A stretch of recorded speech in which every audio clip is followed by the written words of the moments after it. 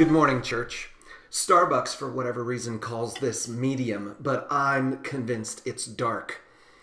Anyway, today I wanted to take you to Matthew chapter 23, a passage that I find really interesting. Well, you know, I think I say that every morning because I pretty much find the entire Bible interesting, but this passage has something that I think you need to hear and something I definitely need to hear. It says this Matthew 23, just beginning at the very first verse. Then Jesus said to the crowds and to his disciples, The teachers of the law and the Pharisees sit in Moses' seat, so you must be careful to do everything they tell you. Now, this is important. First of all, Jesus is saying, you know, all those Pharisees that I have all these problems with, you know, the Sadducees, all the chief priests, all those people that I have all these problems with, I'm telling you, you're supposed to do what they say. In other words, Jesus is saying their authority is real, even if their morality is bad. Let's keep going. He says this, but do not do what they do, for they do not practice what they preach. They tie up heavy, cumbersome loads and put them on other people's shoulders, but they themselves are not willing to lift a finger to move them. This is Jesus' point. He says that the leaders of the day have the authority of Moses behind them. And Moses gave true law. Moses gave God's will completely. I mean, it was a real thing. It wasn't just made up, and it wasn't that these people were making up their own authorities. Uh, Moses had given real law. And as long as these people are teaching the real law, then they have that real law authority behind them. The problem is they aren't living it out, they're just hypocrites. And so Jesus says, even though you are supposed to pay attention to what they say, because what they say comes from Moses, you should not pay attention to how they live or what they do, because what they do is completely hypocritical. In fact, they speak the words of Moses' law, but they don't help people do them. Now, here's the challenge for people in a position like me I have the authority to speak God's word. Well, frankly, so do you. Anytime we're speaking God's word to someone, we have the authority of God's word behind us. But Jesus is saying that you yourself and I myself, as individual people, have the responsibility to make it easier on the people we're bringing God's word to. It's not just about declaring God's word and letting it sit there. We're supposed to declare God's word and then also lift our fingers to help the other people do what God's word asks them to do. It's a big challenge for people in leadership, but it's also a big challenge for every single one of us who claims to understand what God's word says. Let's keep going. Verse 5, Jesus says this Everything they do is done for people to see. They make their phylacteries wide and the tassels on their garments long. They love the places of honor at banquets and the most important seats in the synagogues. And they love to be greeted with respect in the marketplaces and to be called rabbi by others. This is Jesus making a reference to something that the Jewish people did. See, in the really, really, really early days of the Jewish law, back when Moses first gave it, one of the laws was for the people to take the words of God, particularly the words of what was called the Shema in Deuteronomy, where it says, Hear, O Israel, the Lord your God, the Lord is one. You shall love the Lord your God. That kind of, those words, those kinds of foundational words were supposed to be um, somehow written on pieces of paper and attached to their foreheads. Now, Moses never really said that they should be physically attached to their foreheads he said the words, bind them on your heart, and bind them, bind these words on your heart, bind these words um, are on your forehead. The idea, I believe, from Moses is that the words themselves were supposed to be bound onto people. But they took it literally, and they would make these things they called phylacteries, and they would tie them literally to their forehead with little boxes with little pieces of scripture inside them. And the, the Jewish religious leaders of the day, of Jesus' day, made them big and noticeable and obnoxious. And they would add tassels to their garments because the Old Testament had talked about the priests wearing tassels. And they would make them long and big. And they just made everything over the top because they weren't doing it for God, they were doing it for the people to see. And I gotta tell you, leaders today are no different. I gotta admit to you, I mean, from one perspective, I justify it. I say I need to live a visibly Christian life because if I'm living a visibly Christian life, then I can motivate other people to possibly live out a Christian life. And I realize that how I live is a visible repre- representation. And so I want people to get a sense that I'm doing the right thing so that they are motivated to do the right thing also.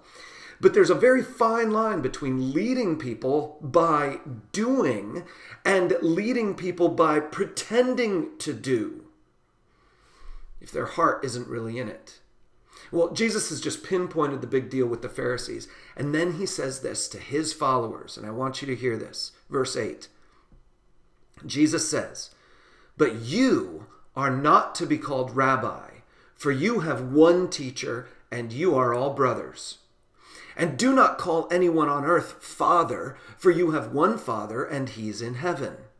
Nor are you to be called instructors, for you have one instructor, the Messiah. The greatest among you will be your servant, for those who exalt themselves will be humbled, and those who humble themselves will be exalted. Here is Jesus' statement to his followers You should not expect you should not ask for, you should not demand recognition of any sort. See, for you, titles? No. Uh, Jesus says, I don't want you to have the title of religious leader, rabbi, teacher, anything.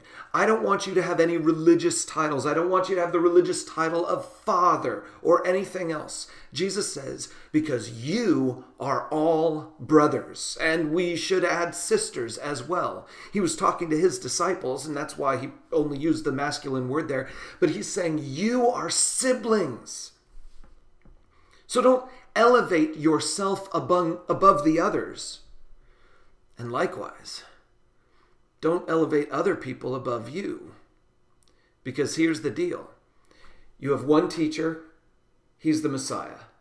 You have one Father, and he's in heaven.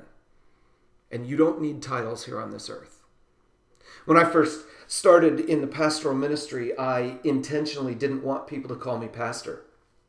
And so I introduced myself to everybody as Jeff.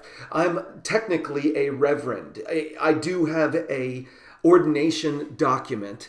And uh, technically, because I have an ordination document, then my official title is Reverend, but I never use it. The only people who ever send me mail with REV at the beginning of my name are my parents. Uh, sometimes my dad when he sends something to me, but I don't use the title ever. And Reverend is a title that means a person who is revered uh, revered one. That's kind of what it means. Anyway, I don't like that title. I didn't like the title pastor. And then while I was in Chicago, I remember someone telling me that we live in a society that doesn't do honor at all. And since we don't do honor well at all, we should be willing to teach people how to show honor to people when honor is due. And so I reluctantly accepted the title pastor. And now I kind of still go with it. I, I prefer for people to call me Pastor Jeff instead of just Jeff. I prefer for people to call me, especially for kids, to call me a Mr. or a pastor, something with a title, as opposed to just my name. I mean, I, I, like the titles better. It makes me feel better about myself. And it, when I justify it, it makes me feel like the other person is learning how to show respect properly.